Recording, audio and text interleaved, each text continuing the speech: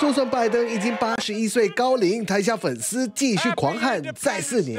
Let me ask you, you think I'm too old to beat Donald Trump? I can hardly wait. Anyway.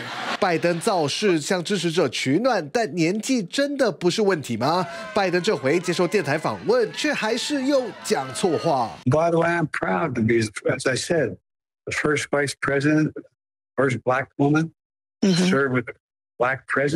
口误自称是首位非裔女性副总统，拜登似乎是把讲贺锦丽的话和要讲奥巴马的文字全部搞混了。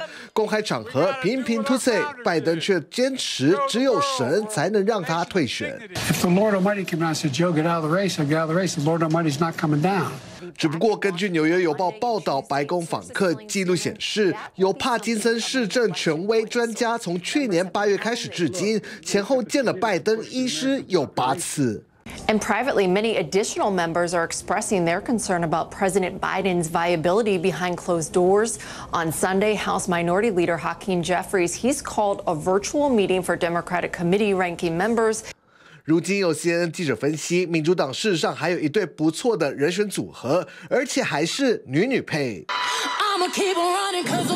那就是美国副总统贺锦丽取代拜登，副手是曾来过台湾的密西根州长魏美贵。两人不仅可以延续拜登政策，两位女性还能抓住许多特定议题和选民，而且都比川拜两年轻几十岁。而川普最近则相对沉默。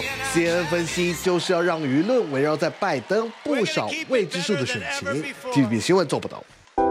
想看最完整的新闻内容，记得下载 TVBS 新闻网 APP。